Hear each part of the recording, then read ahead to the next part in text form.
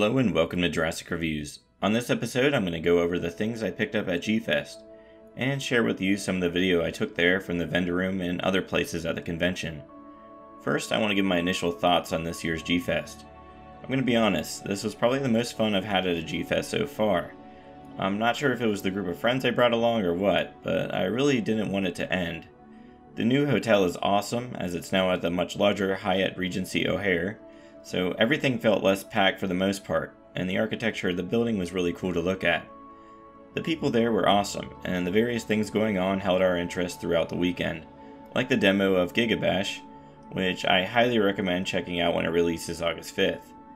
There were a few downsides, like I think the dealer room was still way too packed, it was hard to maneuver through it at some points.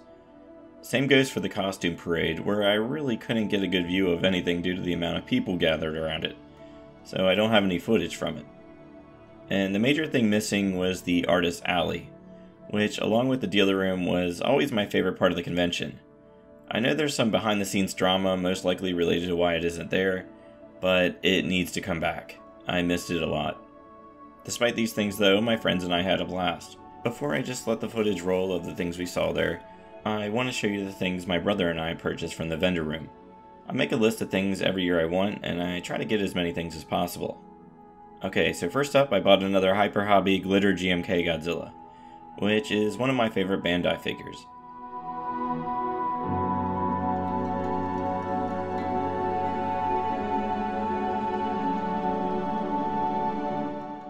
Next, I bought a Bandai Movie Monster Series Titanosaurus. This is another one of my favorite Bandais. I already had two of them that I purchased back at GFest X in 2003, and wanted to get another signed by the guest who was there, which was Tomoko Ai, who played Katsura in Terror of Mechagodzilla.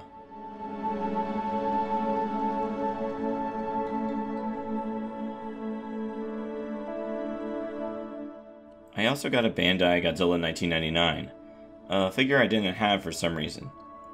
I was also sent a Godzilla 1999 theater exclusive over the weekend by a really awesome person on Reddit named Jameson, who saw that I collected Godzilla things after seeing a post of mine on the Jurassic Park subreddit. I just want to give a shout out to her. I was really shocked when she messaged me and asked if I wanted it.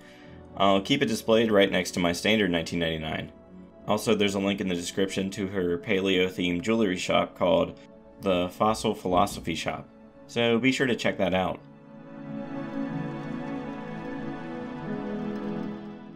Next, I bought two Bandai Theater exclusive Godzilla Tokyo SOS figures, which are the Godzilla and Mechagodzilla figures.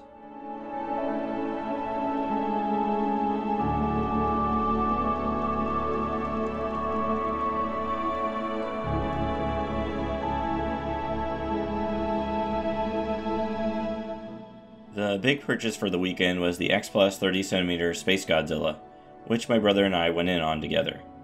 I normally don't buy X Plus figures at G-Fest, as I get enough of them throughout the year, but I do not have too many Space Godzilla figures, and the price was surprisingly reasonable on it. These are becoming hard to find and sought after. I think I saw 5 total at the convention, and they were all sold by day 2. Like the last G-Fest three years ago, I also managed to find some Jurassic Park stuff. In this case, a bunch of boxed Lost World human figures. My brother actually purchased these as Jurassic Park stuff is the main thing he looks for there.